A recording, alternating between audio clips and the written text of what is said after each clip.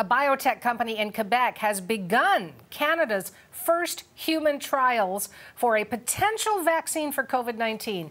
Medicago says it gave the first doses to volunteers on Monday, so just a couple of days ago.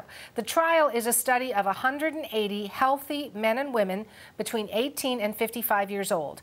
The company expects to see first results by October. But its CEO is cautioning that even if the vaccine works, it's not expected to be a cure all. He says the first successful vaccine will likely only be part of the solution to the pandemic.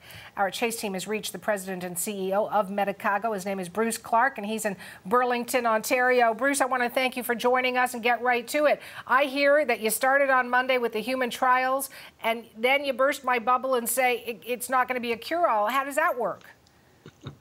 Well, it's not.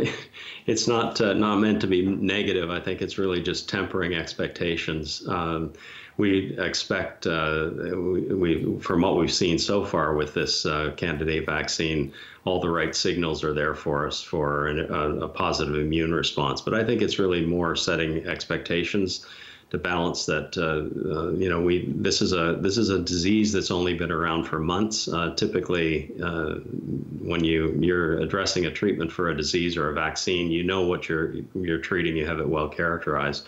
But in this case, we're developing a, a treatment, we're developing a vaccine mm-hmm. at the same pace we're understanding the disease itself. So it, it, poses challenges. I think there's room for optimism and hope uh, for sure but I think it just needs to be tempered that this is a this is a journey, not a destination, when it comes to producing a single product. Well, you, with you and your team, uh, how much pressure have you been feeling? Because not only are we talking about people getting ill, people dying, we're also talking about economies dying, parts of the world that perhaps will take decades to recover. How much has that put on you and your team in terms of pressure?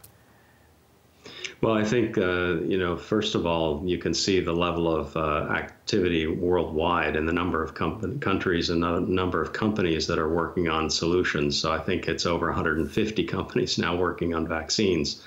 Um, so we feel that pressure. I mean, our, we understand our technology is is uniquely adapted to respond to these kind of crises uh, in emerging threats. Mm-hmm. And so I felt that at some level it was incumbent on us to show that our technology was appropriate and able to address this uh, this crisis.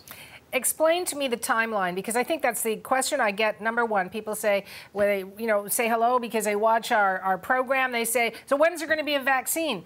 I'm, I'm putting the answer to you. Well, we're, uh, as you said, we're entering uh, the first phase of clinical trials, which is phase one, and really focusing primarily on the safety uh, before we go into full development in the later stages. We expect this stage to be finished um, by September so that we can go into the larger studies looking at the effectiveness of the vaccine as well as continuing to monitor safety in the fall timeframe to get to our phase three studies, which are very large, including 10 to 15,000 subjects, where we really explore the, the activity, the efficacy of the vaccine, and formally, uh, formally uh, make a, an assessment of the, of the safety uh, of it as well. So I'm not asking for an exact date but I am asking for a more specific timeline. so we, we expect to start phase two in uh, October and phase three late in the year. So I'll say December with the intended completion should all the stars align by, uh, by late spring. And there are other companies, as you mentioned, around the world working. Are you working hand in hand? Do you know uh, what other companies are doing, what their stage is? Are you, are, are you competing or uh, what's that other word? You know, working together, cooperating. Yeah. Yeah, no, we have we have uh, just recently signed agreements with two large companies uh, for uh, a component that will work with our vaccine to help it work better. It's an adjuvant which really uh, is almost like an amplifier for the effect of, of the vaccine itself. And, and, so we're using other other technology that can we can leverage in, in concert with our technology, with our vaccine to make it work better. So certainly we're watching what others are doing. Um, it's not really so much a race against uh, against the others as really trying to make sure Isn't we. Isn't it a race? Yeah, well, I think it's a it's a race against the virus, yeah. not against uh, uh the other the companies. So I think that's the the context in which to look at it. But it's you know it's not a simplistic race to the finish. I think I, have described it previously as being more of a a triathlon or a pentathlon because the, the characteristics of this vaccine, because the disease is complicated, we need to we need to show that it's safe, it's efficacious, that it the the effect is the duration is is long enough. Uh, there's a lot of things that has to be able to be manufactured. Uh, there's a lot of uh, steps to hit along the way before you have a successful vaccine. You, you hit on a key point there. It has to be able to be manufactured. And you know, we've all seen those sci fi movies where only a certain percentage of the population who can afford it get the vaccine and they all get to live. How can we ensure?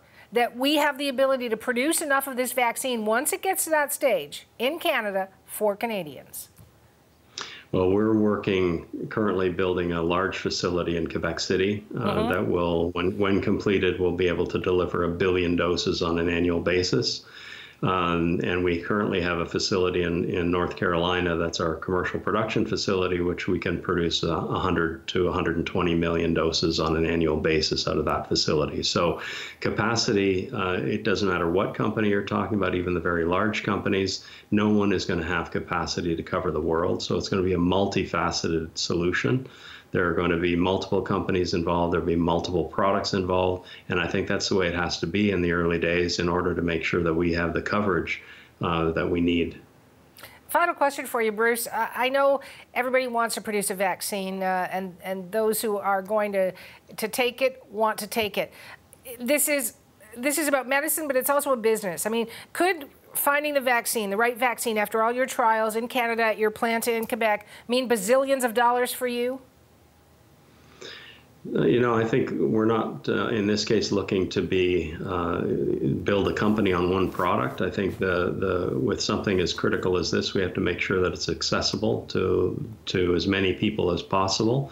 Um, but it is a business, so we have mm-hmm. to make sure that we're sustainable for the long term because we have a technology that addresses not just just COVID. We are a vaccine company but we also produce antibodies, therapeutic antibodies, and we have to make sure that this technology um, really doesn't isn't just a flash in the pan. Uh, and so we we are we have a flu vaccine that's currently under review with Health Canada, which will also help us on the commercial front. But we look forward to a, a long and productive uh, career as a company with making significant healthcare contributions as we go in a crisis like COVID, but also in in predictable, more predictable situations like the seasonal flu. I want to thank you for your time, Bruce. Really appreciate it. Thank you. And be well. Bruce Clark is president and CEO of Medicago, and we reached him in Burlington, Ontario.